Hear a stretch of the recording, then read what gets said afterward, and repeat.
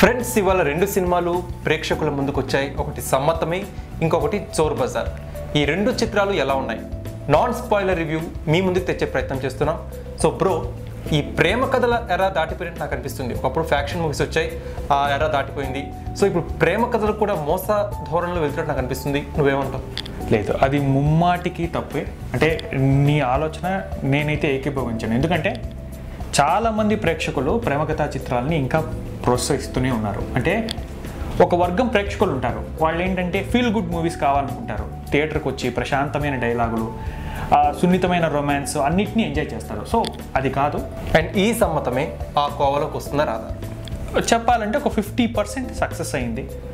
Negative review అని కాదు. కిరణ్ అబ్బవరం మంచి టాలెంటెడే ఎందుకంటే షార్ట్ ఫిల్మ్స్ తీసుకుంటూ వచ్చాడు. సో దీనికి director Gopinath Reddy. Music director Shekhar Chandra. అంతా బాగానే ఉంది. కానీ సినిమా పరంగా స్టోరీ నాకు తెలిసి స్టోరీ సెలక్షన్లో ఇంకొంత జాగ్రత్త తీసుకుంటే మేలు Kiran Abbavaram okay. And G A two pictures అంటే గీతా ఆర్ట్స్ సంస్థ యొక్క అది. అది ప్రమోట్ చేస్తుందంటే ఒక మంచి ప్రోడక్ట్ అయి ఉంటుంది. సో అల్లు అరవింద్ ఈ చిత్రాన్ని ప్రమోట్ చేస్తున్నారు కాబట్టి ఇందులో ఏమైనా స్పెషాలిటీ మనం ఆశించవచ్చా? థియేటర్కి వెళ్ళే ప్రేక్షకులు. అంటే బేసిక్గా Kiran Abbavaram next movie G A టూతో ఉంది. అంటే గీతా ఆర్ట్స్తో డైరెక్ట్గా బహుశా ఆ సినిమా కోసం ఈ సినిమాని ప్రమోట్ చేసి ఉండొచ్చు అట్ ద సేమ్ టైం ఇంకా కిరణ్ అబ్బవరం కూడా అతన్ని కూడా ఎంకరేజ్ చేయాలనే ఉద్దేశం కూడా ఉంటుంది. చెప్పాను కదా ఓవరాల్ కొంత స్లో ఉంటుంది. రొటీన్ సినిమా చూసిన ఫీలింగ్ అయితే కలుగుతుంది. అక్కడక్కడ పర్లేదు అనిపించినా కామెడీ చాలా బాగా ట్రై చేసినా కూడా అది ఎక్కువ పండలేదు. అంటే నాకైతే నవ్వు రాలేదు. అది నెగిటివ్ అని కాదు. కొంత ఓపికతో మీరు సినిమాకి వెళ్ళి చూడాలి అనుకుంటే మాత్రం ఓకే పర్లేదు మనం కిరణ్ అబోర్ని ఎంకరేజ్ చేయాలి. తర్వాత చాందిని చౌదరి హీరోయిన్ ఉంది. కొంతమంది సెట్ ఆఫ్ ఫ్యాన్స్ ఉంటారు వాళ్ళిద్దరికి. అలాంటి వాళ్ళు వెళ్ళండి.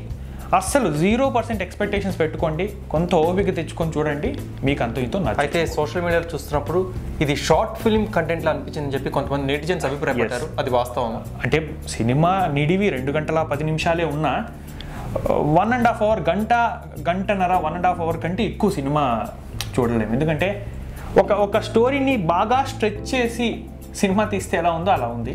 ఓకే. బహుశా అది కూడా ఒకటి నిజం అవ్వచ్చు. శేఖర్ చంద్ర మ్యూజిక్ అంతో ఇంతో పర్లేదు అనిపిస్తుంది. బ్యాక్గ్రౌండ్ మ్యూజిక్ కూడా బాగానే ఉంది. సో ఫైనల్ వర్డ్ ఏంటి సమ్మతమే చూడండి. చిన్న సినిమాలను ఎంకరేజ్ చేయాలి ఖచ్చితంగా. సో మీకు ఇంకా వేరే సినిమాలు ఏమీ లేకుండా ఓటీటీలో ఆల్రెడీ అన్ని సినిమాలు చూసేసాం అనుకుంటే ఈ సాటర్డే సండే వీకెండ్ ఫ్యామిలీతో వెళ్ళి చూడండి. ఎక్కడే కానీ వల్గారిటీ కానీ బూత్ కానీ ఏమీ లేదు.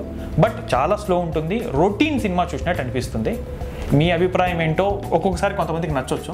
So and coming to Chor Bazaar Akash Puri చాలా ప్రామిసింగ్గా ఉన్నాడు. తన మాటలు కానీ స్టేజ్ ఎపీరియన్స్ కానీ అదంతా. సో తన స్టేజ్ మీద కనిపించిన కాన్ఫిడెన్స్ తన సినిమాలో ఉందా?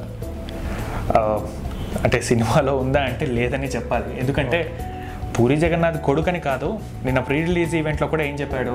అంటే స్టార్ స్టార్ డైరెక్టర్ కొడుకు కొడుకులాగా కాకుండా మంచి టాలెంట్ ఉంటేనే సినిమాని ఎంకరేజ్ చేయండి అని అన్నీ చెప్పాడు. కానీ సినిమాలో నిజంగా కూడా అంత ఇంటెన్స్ సీన్లు కానీ ఏమీ లేవు.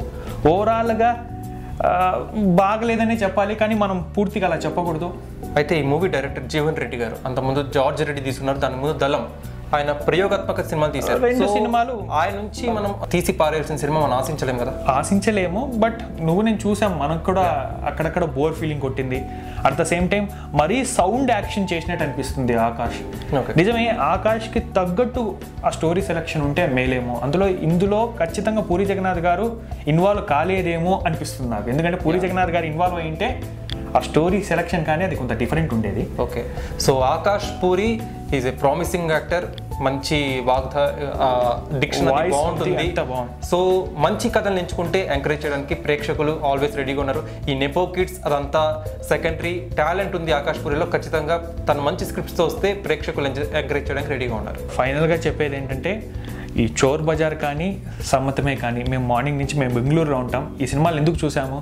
చిన్న పెద్ద అనే తేడా లేకుండా ప్రతి సినిమాని ఎంకరేజ్ చేయాలనే ఒకే ఒక ఉద్దేశంతో మేము సినిమాలకు వెళ్తాం. ప్రతి ఫ్రైడే చాలా సినిమాలు రిలీజ్ అవుతాయి. బట్ ఏవి చూడాలి ఏవి చూడకూడదు అనేది మీరు రివ్యూస్ బట్టి ఆధారపడకుండా అభిప్రాయం తీసుకొని నిజంగానే ఎంకరేజ్ చేయాలనుకుంటే ఇప్పుడు పూరి జగన్నాథ్ గారి కొడుకు అరే మనం ఆయన మీద గౌరవంతో అయినా వెళ్తాం సినిమాకి.